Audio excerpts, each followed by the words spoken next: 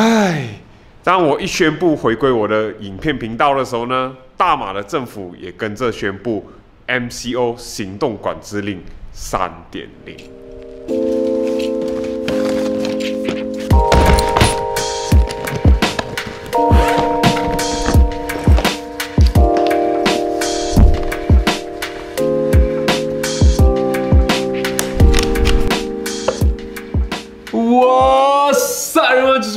的小屁孩。今天这个特辑呢，就是我来讲故事，所以我就特地搬出来这个 Podcast 比较好的这个录音器材了。所以在这个时刻开始，你们会听到一个很好听的音质。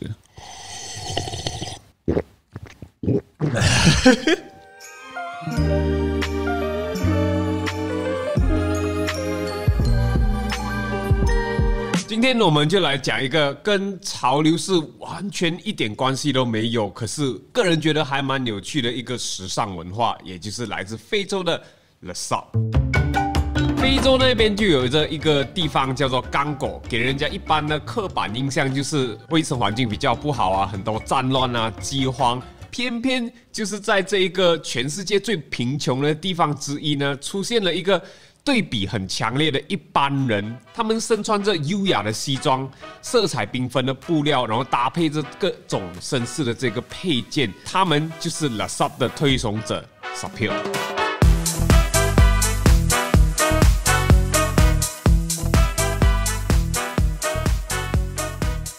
The Sub 它是一个法文来的，然后在中文的话，它是叫做萨普协会，然后它的字面的意思就是。格调营造者和优雅人的协会，而法文的念法呢？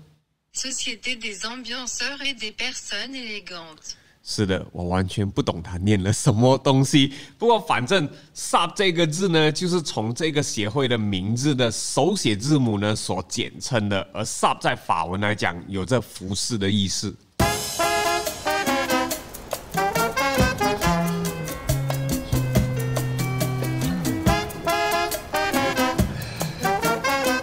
Sub 这个文化的历史来源呢，我们可以追溯到非洲的殖民时期，就大概在一九二零年左右。当时的刚果就被比利时还有法国给殖民，自然而然的很多当地人呢就成为了这些欧洲人的家仆。而这些当地的仆人啊，他们的薪资呢，其实不是我们想象中的金钱，而是这些主人啊从欧洲所带来的这些二手衣服。嗯，这个跟 KOL 的现象有没有很像？这些刚果仆人啊，他们为了对抗这些殖民者，他们就开始拒绝收他们的二手衣服，然后有了这种像是无声的抗议啊，他们宁可靠着自己微薄的薪水呢，慢慢存钱去买一些很昂贵的品牌。到底他们买的品牌有多昂贵呢？你们听看。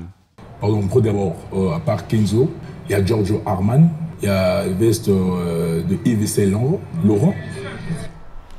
不要说你们。连我看到他们生活这么辛苦，我就心想，他们应该是穿假的吧？那你就错了。像我刚才所讲嘛，The Sub 这个文化就是来自于对抗殖民者的暴力，所以他们的行为举止也是跟他们的服装呢是一样的讲究。所以据他们所说，真正的 s u p e r 呢是不买冒牌货。In general, the s u p e r don't take the false, fake. Fake thing because if you put fake thing everybody will knows. 而且他们不偷也不抢他们向往的就是那种巴黎绅士的生活他们很喜欢在这些呃贫民区的地方呢走来走去就是引起一些旁观者的观看还有尊重。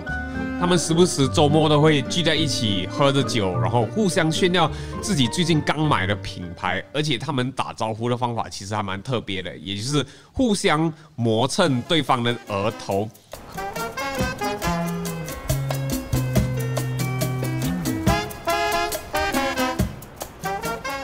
大家看到这里，可能就会觉得 The Sub 是不是刚果比较有钱的人呢？其实不是，绝大部分的他们呢都是呃来自贫穷的家庭，有着全职的工作。他们是呃司机、服务员、清洁工人，甚至是政府人员。他们可以存上好几个月，甚至好几年，为的就是买一双一两千块欧元的这个皮鞋。而这一笔钱呢，可以在他们那边呢是买地买房的那一种。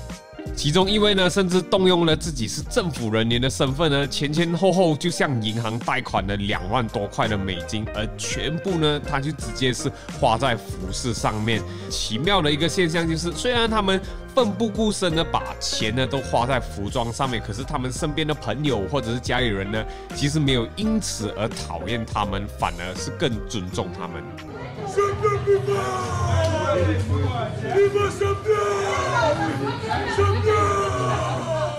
他们的穿搭原则呢，其实还蛮简单的，而我觉得跟有军痛的穿搭原则呢，也是不相上下。也就是他们的身上呢，绝对不会出现超过三个颜色，然后他们会大胆利用一些比较亮的颜色啊啊格子纹线条来做这些搭配，而他们的配件呢，真的是多搭，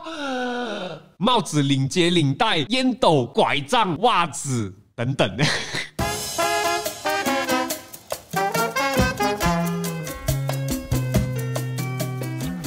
一年呢，他们都会举办一个比赛，这一个呢像是一个穿搭的比赛，而他们就会选出年度穿的最好看的一位 s u p e r 你们可以看到，呃，影片这一位呢，也就是二零一五年胜出的 Maxim Pivot，甚至当地的居民啊，都称为他的 God of Sub，还有 The God of Clothes。你可以看到当地的居民啊，是超级爱他，而且是引以为荣那一种啊，连走个路啊，都有人帮他捡垃圾，而且对他来讲，出门之前打扮一两个小时啊，其实是一个家常便饭的事情。这一位 Maxim Pivot 呢，后来还自己创办了一间 The Sub 的学校，专门就是教人家如何去穿搭，然后加入这个 The Sub 的协会，有一点点像我在拍 YouTube 影片的教学，有没有？他就觉得，身为一位称职的 Supplier 呢，不只是买名牌而已，而是搭配颜色、选择对的剪裁，还有西装呢，才是最重要。所以他呢，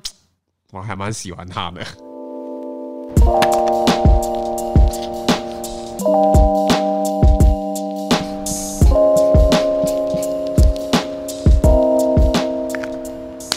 以下是个人的看法。对，以人类的基本需求来看呢，如果你连吃跟住都搞不定的话，这些身外物呢，基本上就不是你生存的首要条件。可是我们何尝也不是一样呢？很多人打工努力存钱呢，为了就是要买手机、包包，还有限量球鞋。只是这个刚果 The Sub 的例子呢，会比较极端一点点。Agree to disagree。这句话其实我最近还蛮有感触的，尤其是在这种敢怒敢言的网络时代，当大家意见不一样的时候呢，你又想要去说服对方来认同自己的观点的时候呢，这个时候就有一个矛盾存在，到最后呢，有可能大家还是依然坚决着自己的立场，所以就有了这一个 agree to disagree，认同他人的不认同。就好像我觉得云吞面好吃，你觉得云吞面好吃吗？其实啊，从 The Sub 这个文化，我们不难发现，追求美这件事情呢，是人类的本能。可能 The Sub 他们的社会价值观跟我们一般的社会价值观呢是不一样，可是我们不能去否定他们的价值观。对他们而言，The Sub 更是一种生活方式，不管是他们在任何程度的这个贫穷，或者是身处的环境有多恶劣，至少。这个文化可以为他们带来欢乐，为当地的居民带来一丝丝的希望，让他们短暂的忘记掉生活的烦恼啊！只要不伤天害理，他们做这件事情我没有太大的反对了，反而是促成了一种很特别的文化现象。The Sub 这个文化呢，大家想要知道更多的话，可以上网自己去查询一下。我讲的东西呢，其实是很有限而已。所以今天的影片呢，就到此为止，我们下期见，拜。